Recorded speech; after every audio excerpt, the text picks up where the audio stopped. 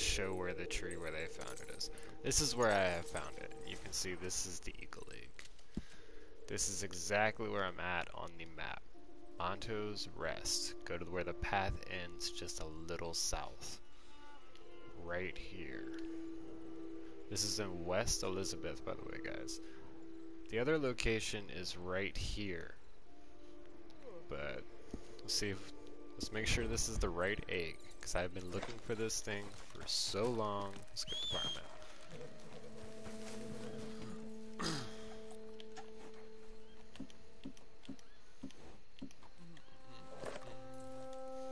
Just make sure we got the right one.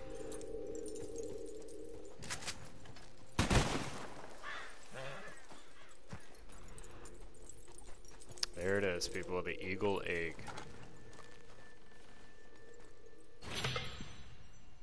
There you go.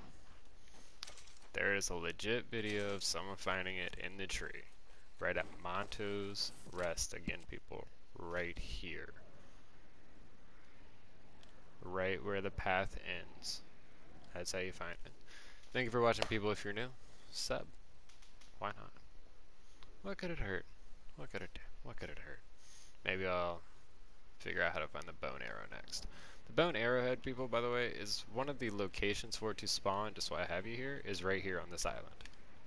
Right here. I haven't found it there yet, been session hopping, but we found the eagle egg, so that's one thing. Thanks for watching, guys. Have a good one.